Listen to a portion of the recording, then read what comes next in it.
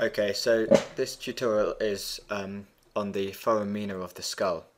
So foramina are openings which allow structures to pass through in the human body. So if you just look at this model, you can just see these little holes here, which you put, if you've watched the other tutorials I've done on the skull, you'll have seen them and probably wondered what they were. But these are called for, foramen, and the plural is foramina. And again, this is all Latin, coming from the Latin names that they have. So a, for, a foramen allows a structure to pass through, so things like blood vessels and nerves. And in the skull, they're really important to know because many important blood vessels pass through these foramina to supply the brain, and several important nerves pass through the through them to carry information to and from the brain.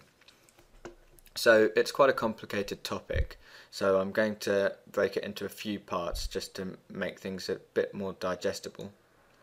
Um, so this first part I'll just go through, I'll start from the from an external view looking at the skull and the various foramina um, and I'll go to an interior view and take a look at them from there. Um, and in the other parts of this tutorial which will follow on, I'll talk about all the different structures that pass through.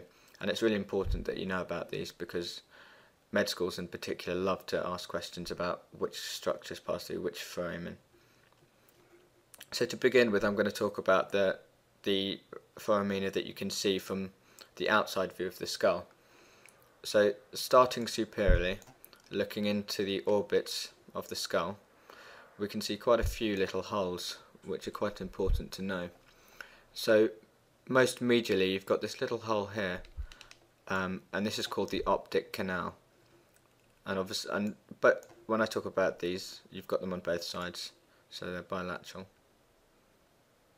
So you've got the optic canal here which is most medial.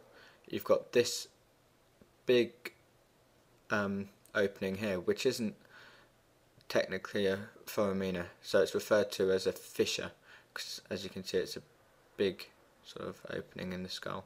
So this is the superior orbital fissure and if you look just inferiorly you can probably guess you've got the inferior orbital fissure.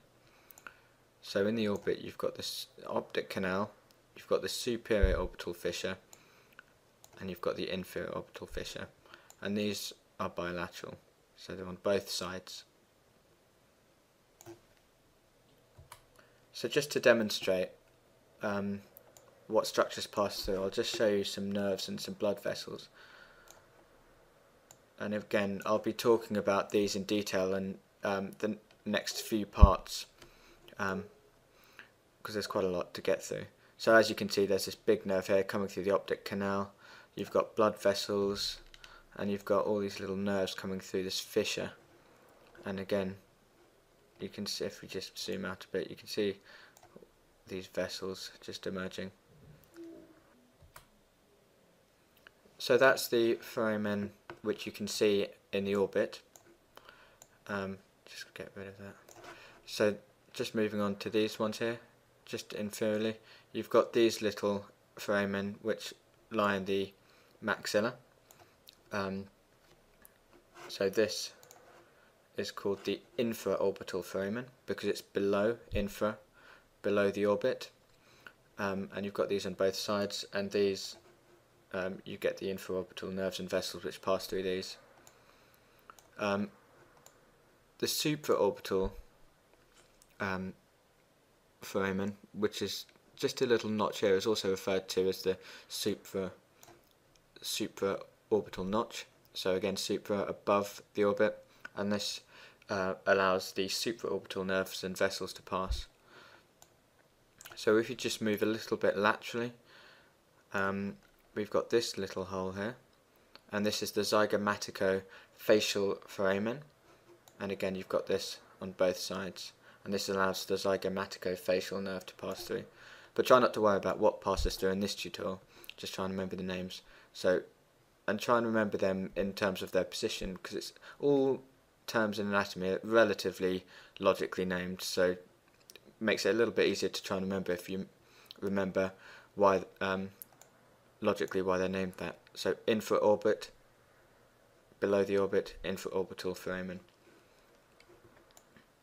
and then right down here you've got this little these little holes these foramina and these are the mental foramen and they allow the mental nerve and vessels to pass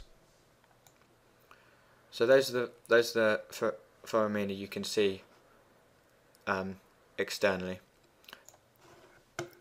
So next what I'm going to do is I'm going to switch to a view inside the skull. So if you just see what I'm doing I'm just going to get rid of the outside of the skull and we're going to have take a look from inside. So I'm just going to bring it around and we can have a good look okay so we're now looking at the base of the skull from the inside. So I've got rid of the outside of the skull and we're looking down at this base of the skull at the frame and from that perspective. So if I just go back to that.